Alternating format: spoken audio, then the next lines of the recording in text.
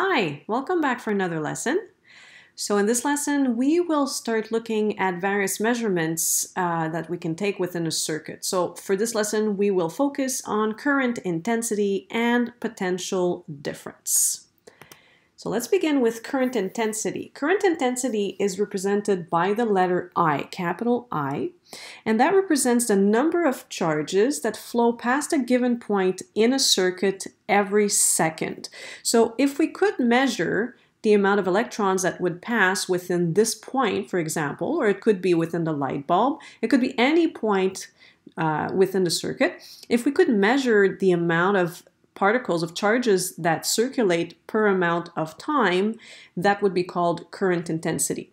So we know that it's always the same uh, electrons that circulate, it's always the same current that circulates in a loop, right? Back and not back and forth, but always in the same direction. So if we can count them here, or here, or here, it should always be the same uh, particles, the same electrons. Think of hamsters that are going through a maze. Uh, if there's only one loop, one way to go around, you're always going to count the same hamsters going through the same maze. So you can keep that mental image. Uh, it's the same thing with the electrons. The electrons are always the same ones uh, circulating around the circuit. So if we can measure them, we'll call that current intensity. And current intensity is expressed in amperes. So those are the units. We say amps normally. So amps uh, is used to measure current intensity. Now, sometimes the current intensity is very small, so we will use instead milliamperes. So milliamperes is similar in a sense to millimeters. So millimeters is to meters, the same way that milliamperes is to amperes. So in one amp, I have a thousand milliamps, or in one amp, I have 0.001 amp. This can be useful when we do calculations for a circuit and the quantities are very small. We're going to need to remember this conversion. So how do we effectively measure current intensity? Well, we need an ammeter. So the ammeter has to be part of the circuit because the electrons have to pass through, the current has to pass through the ammeter for the ammeter to basically count the amount of particles that are passing through. So it's connected in series. In other words, consecutively with other components of the circuit. How do we actually calculate current if we have to do calculations? Well, Current intensity, we said, is, is a measurement of the number of charges that pass through the circuit per unit of time. So this is how it looks mathematically. I is equal to Q, which we know is the letter representing charges, over delta T, so the variation of time. If we look at the corresponding units, we would have 1 amp for current is equal to 1 coulomb per second. But we know that 1 coulomb is basically a group of particles, so one coulomb contains 6.25 times 10 to the 18 electrons. So we could also say one amp is 6.25 times 10 to the 18 electrons that circulate in a given point of a circuit per second. But it's rare we're going to be using this number. We're normally going to be working with coulombs because there's too many electrons circulating to basically deal with them uh, one at a time. The numbers would be too big. Okay, so what could a problem look like? Well, this is the first example. A light requires a current of 15 amp. What is the charge needed for one minute of operation? Okay, so we're looking for Q, we're looking for the charge, and we are given the current. So I would have 15 amps. As you can see, it's pretty simple. We have two out of three variables, so it's really plug and play. So we have I, we're looking for Q, but we're given the time. So we're looking for Q, and the time has to be, if you recall, in seconds. So it says per minute, so in 60 seconds. Okay, so what does this give us? 60 times 15, it gives us 900 coulomb. Okay, so Q is equal to 900 coulomb.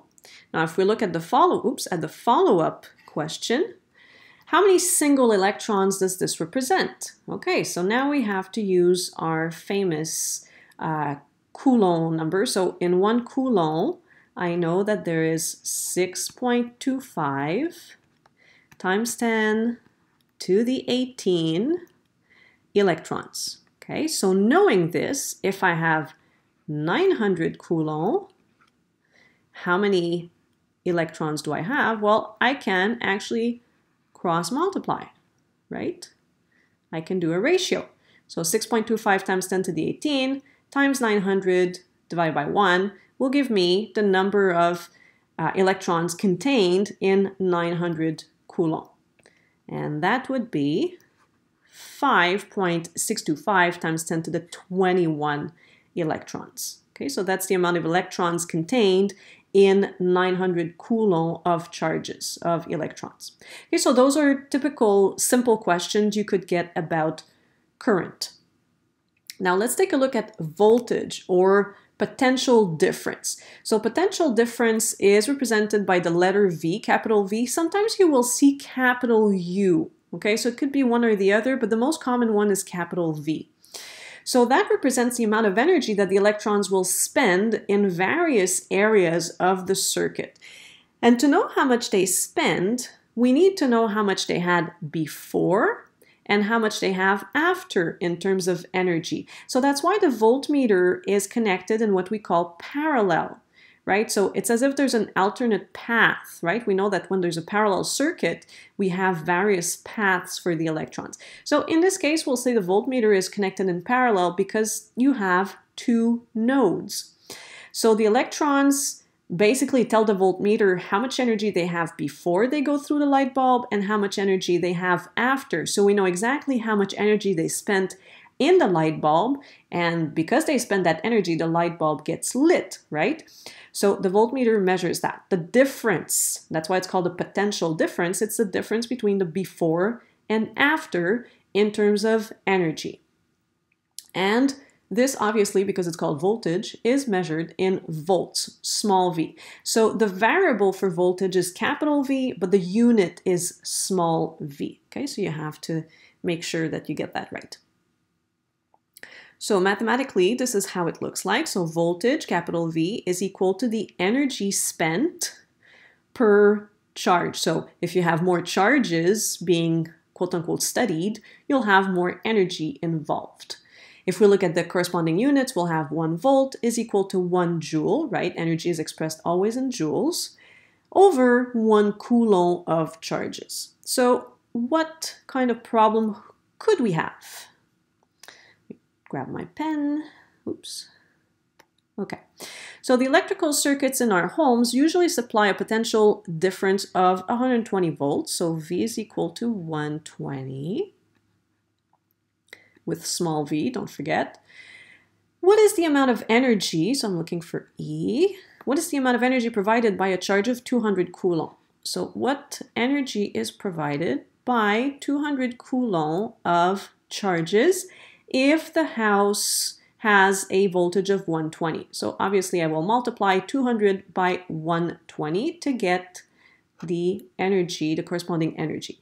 And that would be 24,000 joules. Okay, so for voltage and current intensity or potential difference in current intensity, it's not any more complicated than that. In the next lesson, we'll talk about resistance. Down the road, we're going to put all that together and we will analyze circuits. So each individual calculation or concept is relatively simple, but when you start putting them all together in the same circuit, that's when it becomes a little bit more finicky, but we'll take it one step at a time. So that's it for voltage and current. Um, if you have any questions, you know what to do. Otherwise, I'll see you for your next lesson. And until then, take care.